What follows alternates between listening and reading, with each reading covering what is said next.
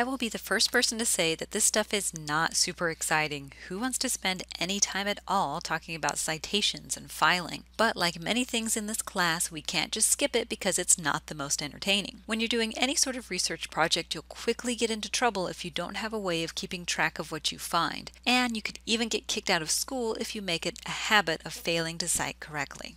Having helped students with citations for years, I'm totally on your side that this can be a pain, but you need to cite what you use because it's the right thing to do.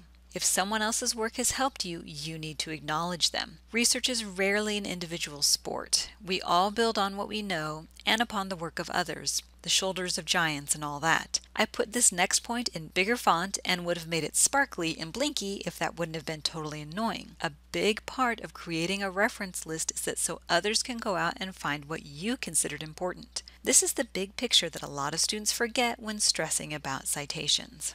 You may be wondering why we're talking about citing sources already. We haven't even started doing research and we don't have anything to cite or organize. Shouldn't we just wait until we're ready to create a reference list? Trust me on this one, knowing the basics of citation style and having some sort of system to keep track of what you find before you get started is going to save you a lot of time and stress. Accidental plagiarism happens when you forget to properly cite a source. This is much less likely to happen if you keep track of everything you find. I know from personal experience that creating a reference list can be a challenge, but it's much less painful if you create the citations as you're finding them. Then all you do is add the ones you end up using to your reference list. Much less stressful that way.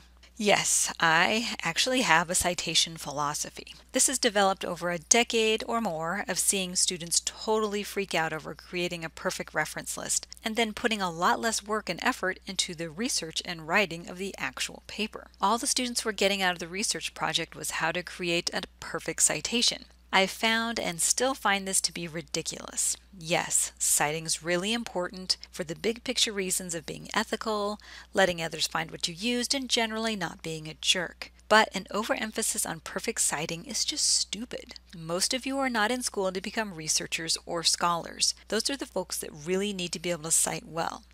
What I want to teach you is how to find, evaluate, and use research information. Yes, I want you to cite using APA format, but I don't weigh the citations heavily in any of my grading. Be forewarned, you are going to have professors who will just about fail you if you can't cite an article or book chapter correctly. That's not my style, so consider this a gentle introduction to citing. Okay, off of my soapbox. This will be my obligatory slide on the evils of plagiarism.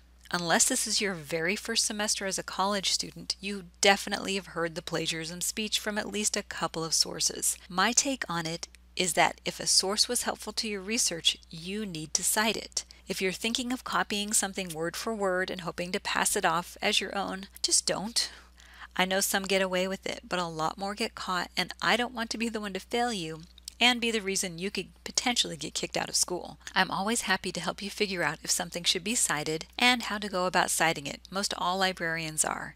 I know that creating citations can make most anyone want to scream. I don't expect you to know how to do this off the top of your head, and there are many sources that can help. Of course, you can buy the citation manual. This is the definitive source. Even if you don't buy the manual for this course, you'll want to get one eventually. There's also other online guides. Just type into Google something like APA format or APA citation and you'll find thousands of sites that have been created to help. Stick with ones from a university library or a university writing center. These will generally be the best. Citation generators allow you to enter the different parts of your source and they automatically create the citation for you. That's okay if you just have a few citations, but kind of challenging if there are more since you have to enter them one at a time. EasyBib is an example of a citation generator. Lastly, you can use a reference manager, which is a fancy way of describing a tool that not only can help you cite correctly, but it can also help you keep your research organized. A couple of free options are Zotero and Mendeley. These reference managers are wonderful, but they do take a bit of learning. They're not required for undergrad students, but if you plan on going to graduate school, they are essential.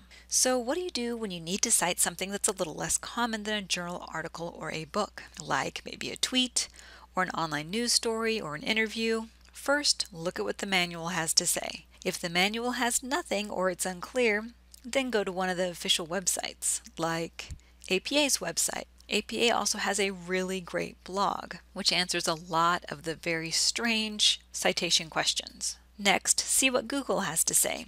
Be as specific as possible. Don't just ask for APA citations, ask for APA citations tweets. Again, university and library websites are your best bets. One thing to know there is some inconsistency when the manual doesn't have anything definitive to say. Remember, the goal of citing is to make it possible for your readers to find the source you used, so include as much information as possible within the correct format. I take a lot of time to provide detailed feedback on your citations and your annotations. Please, for the love of everything, read and apply the suggested changes. I will tell you right now that it makes me crazy to fix the same errors in your assignments again and again and again. I 100% know who is and isn't going through the feedback, and that will be reflected in your grade. In the second half of this week, we're going to focus on why and how to stay organized. No, not in like a New Year's resolution sort of way. I cannot help you clean your garage. I can't even help myself there. I can help you keep track of what you find when it comes to research. This is super important, especially if you don't want to lose that perfect article or website or book chapter. You can't cite it if you don't have the reference written down or saved somewhere. I'm going to talk about some options, but I also want to hear what you are currently using to keep track of research, especially if it's been working for you. All right, thank you guys and have a great week.